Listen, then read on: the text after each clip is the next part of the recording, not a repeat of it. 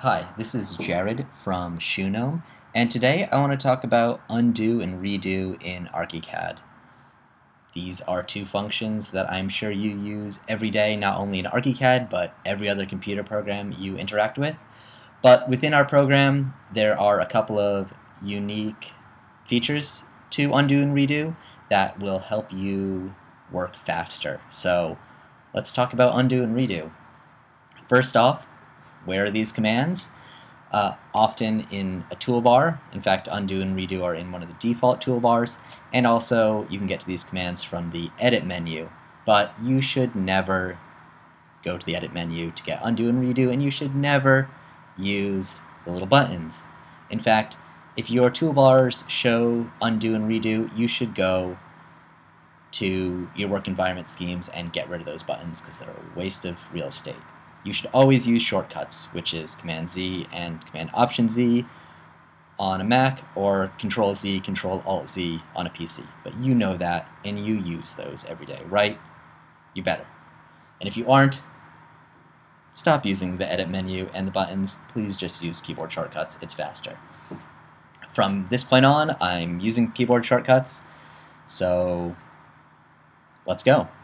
First off, when you undo something, um, this is probably obvious, but you might not realize until you say it out loud.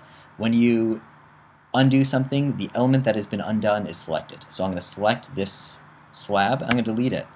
Now when I undo it, the element reappears and it's selected. That's super useful and super critical to everything else we do from here on out. Because what that means is undo is essentially another way to select elements in ArchiCAD. So for instance, if we just go ahead and delete a bunch of things, uh, and I've done this in random order, now as I undo everything, it's all selected. So you could use undo as a way to create a selection of elements for grouping or for whatever purposes.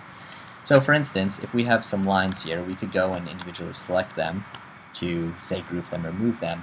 But as you're selecting elements, you have to remember to hold down Shift if you want to add to a group. And if you forget to do that, you have to start it over. But if you just went and deleted these lines one by one, now undo them, they all reappear, and now they're all part of your selection. You can group them, you can move them, you can do whatever you want. Now, let's look at another practical use of undo.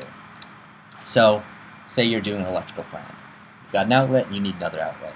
And you're going to go drag a copy and you say, let's make that 6 feet, and you're done. But you forgot to drag a copy, you just moved the element. So you want this element where it is, but you also want the old element there.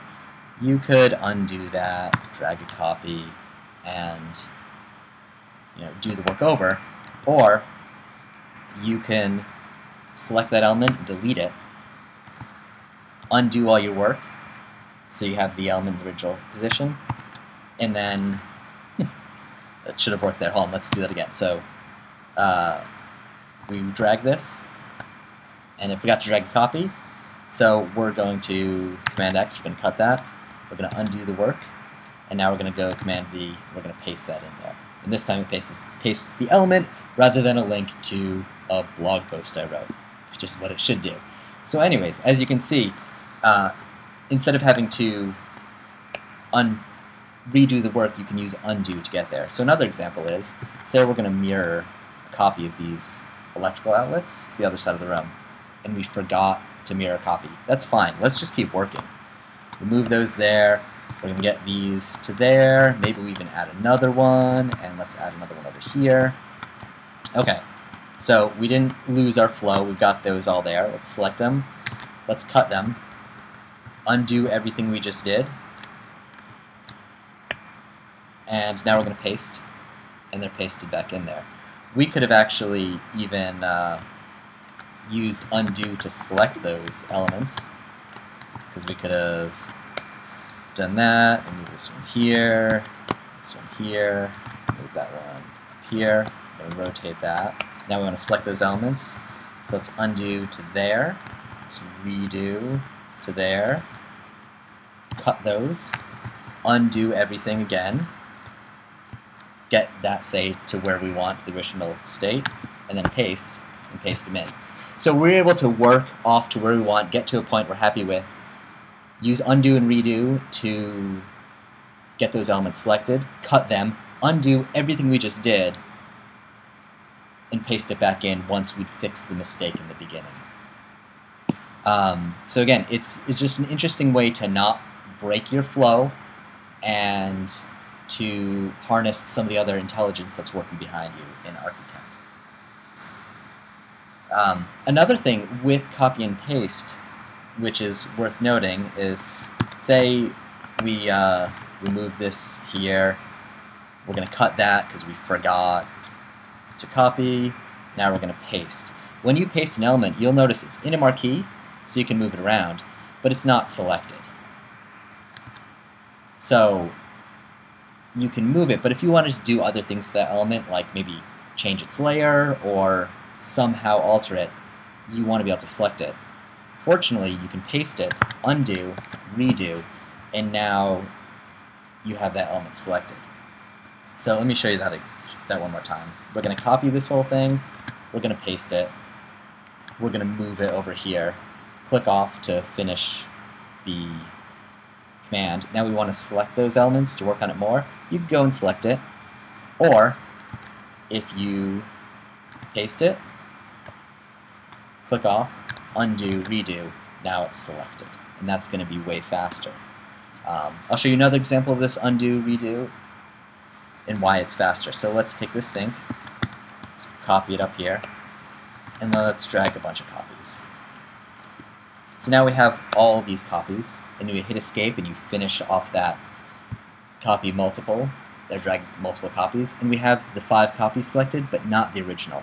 If we wanted to select the original to say, uh, do some align and distribute work, which here's a link to a video on how to do that, we could go and select the element.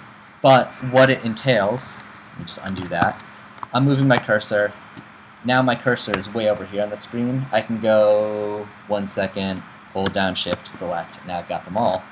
Or if I just drag the copies, undo, redo, undoing, and redoing selected everything. So that's faster. And that's really the point of looking at undo and redo in this manner is that it's about speed. It's a command that works everywhere. Um, read the link to the original post. There, I'm going to have a link to the Help Center, which has a couple of the quirks and caveats about where undo and redo works, like how it works differently in the text box or if you're uh, writing some GDL stuff. But in general, if you're in the 2D window, a 3D window, a section, elevation, whatever, everything we're showing here is going to work. And that means, and it also works with whatever commands you're doing. So undo, redo is this always present, super fast way to select elements, to fix mistakes, to continue working and then fix mistakes from a minute or two back. Uh, and it's about, like I said, it's about speed. And we want to get faster and we want to make the tool invisible because in the end, this video isn't about undo and redo. It's about getting ArchiCAD to be invisible to the way you work and unconscious so that you can focus on other things because you shouldn't be focusing on ArchiCAD. ArchiCAD should just be a thing that works for you. Um, the last thing I want to point out about undo and redo is there's a limit to how many elements, to, to how many actions that undo and redo uh, can handle. And the default is 20, but you can change that. Um, what that means is you keep on doing undo, undo, undo, and undo, and you're going to reach a point, you can hear that maybe, where I can't go any farther back. But if you go up to options, work environments, or sorry, work environment, data safety and integrity, here you can set the undo limit to 99. And what that means is, now from this point on, we can just do a whole bunch of stuff, and I'm not going to spend my time going back 99 steps. But now that I've changed that, ArchiCAD can go back and undo or redo 99 actions, which becomes a huge number and allows you to go very far back in the past. So um, I haven't done research to know if increasing the undo queue slows down ArchiCAD in any way. I can't imagine it does, um, which means I recommend cranking that up to the max so you can go farther and farther back in time. That's all I have for you today. Hope you learned something um, either about undo and redo or just I hope I expanded your view of how you can use ArchiCAD and um, how you should be thinking about ArchiCAD and all the features as ways just to make you faster and ways to make what you're doing invisible. Because again, we love this program, we use this program because it allows us to do the things we really care about better. So that's all for today. Thanks.